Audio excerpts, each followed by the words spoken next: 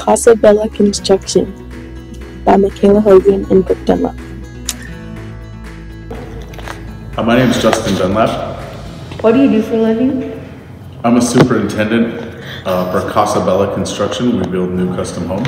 I got into doing construction stuff. I actually did construction as one of my first jobs. Uh, I did construction throughout high school and college, um, and I always just liked doing it. Um, and then I worked for the sheriff's office for 25 years and retired.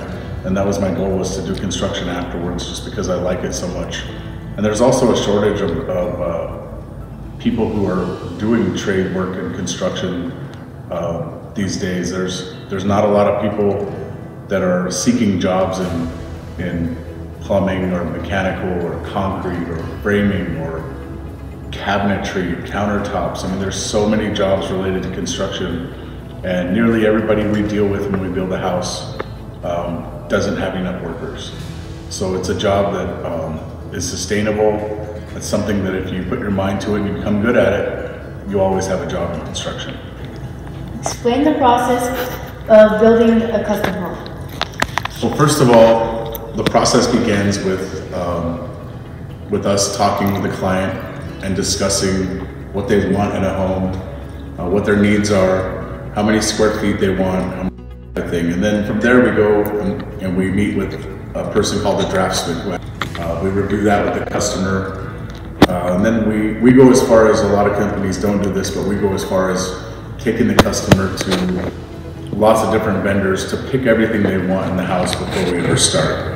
So we go pick flooring, we pick tile, we pick windows, we pick bathroom fixtures, um, cabinets, carpet, all those kinds of things so that they know exactly what they're going to get in the home before we ever start building it. Uh, once the house, the project begins, it starts with dirt work, then it goes to concrete, plumbing, electrical, framing, heating and cooling.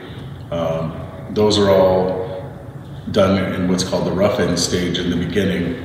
Once all that's done, then the homes are insulated, drywall is put on on the inside, stucco is applied on the outside, and then all of those trades that were in the beginning have to come back to do what they call a top out or a trim out, where they finish all their, their job that they started uh, in the beginning when the project started.